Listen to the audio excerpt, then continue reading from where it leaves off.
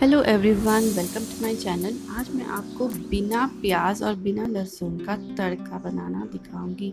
आपको कुछ tips follow करनी है। वो अगर आप फॉलो करेंगे तो बहुत ही लाजवाब और स्वादिष्ट तड़का बनेगा। तो चलिए देखते हैं इसके लिए हमें क्या चाहिए। आधा कप मैंने उड़द डाल ली है। ये काली साबुत उड़द है, जिसे मैंने रात भर भिगो दिया था।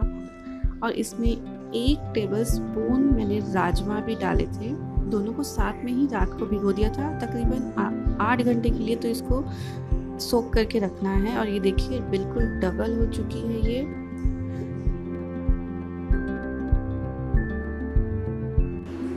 यहाँ पे मैंने एक टेबल स्पून चना दाल ली है। इसे भी आपको धो के लेना है।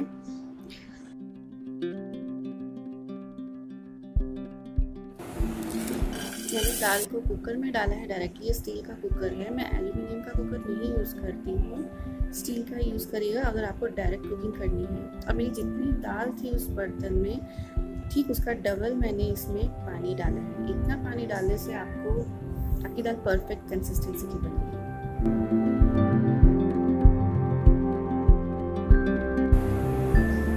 इसमें मैं तकरीबन एक टेबल स्पून नमक डाल रही हूँ।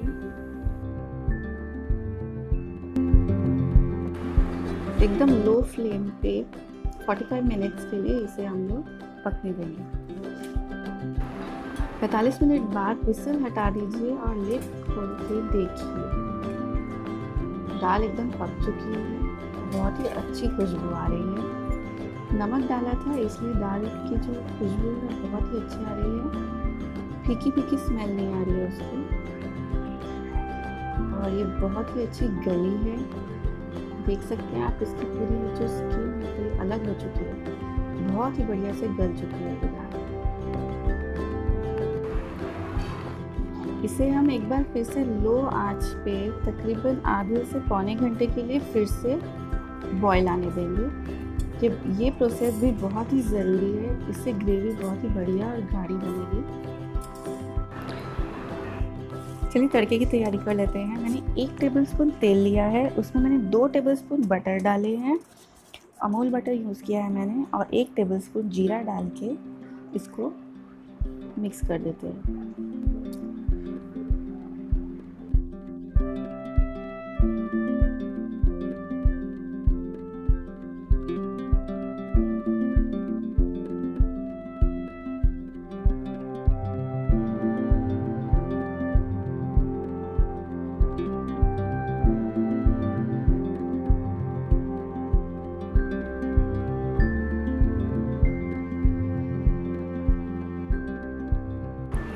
तेज पत्ता और सूखी लाल मिर्च डालेंगे। आप अपने हिसाब से मसाले एडजस्ट कर लीजिएगा।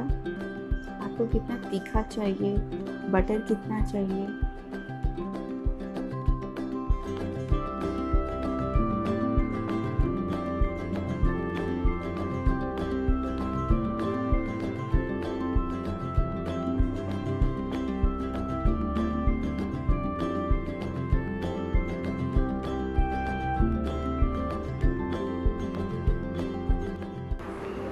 यहाँ मैं, आधा टमाटर यूज़ कर रही हूँ, आधा मैं ऊपर से डालूँगी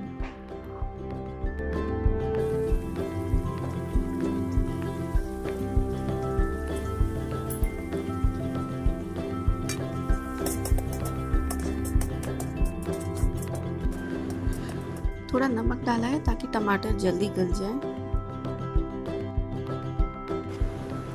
हल्दी और मिर्च डाल देंगे। ये आप हिसाब से डाल दीजिएगा। मैंने यहाँ एक टीस्पून हल्दी और एक टेबलस्पून लाल मिर्च का पाउडर डाला है, कश्मीरी लाल मिर्च का पाउडर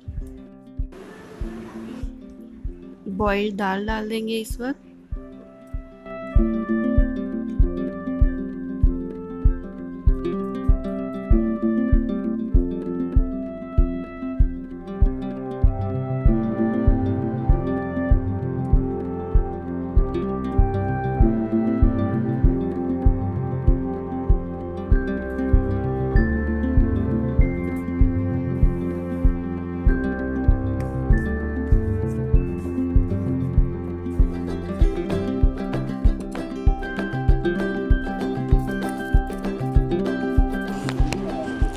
एक टेबलस्पून चाट मसाला और एक टेबलस्पून अमचूर पाउडर इस वक्त डाल देंगे।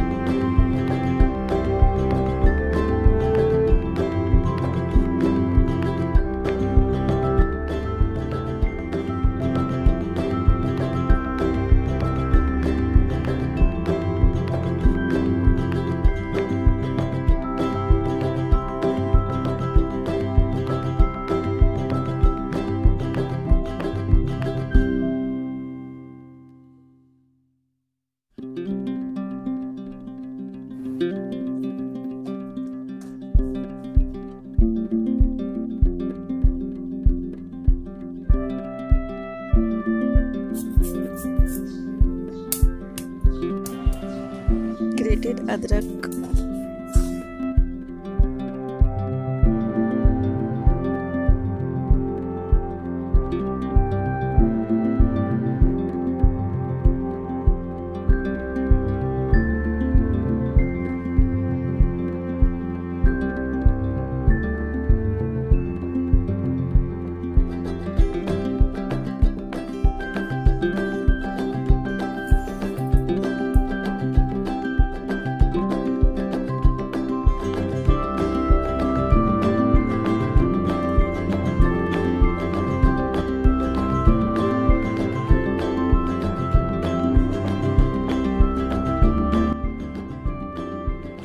दाल बहुत ही अच्छी गाढ़ी हो गई है।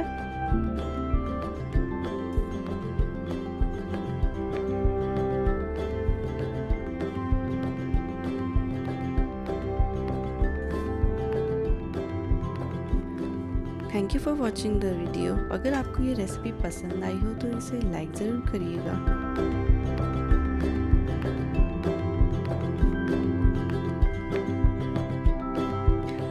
चैनल को सब्सक्राइब करना ना भूलें और बेल आइकन ज़रूर दबा दीजिएगा ताकि मेरी हर लेटेस्ट वीडियो की अपडेट्स आपको मिलती रहे। Thank you.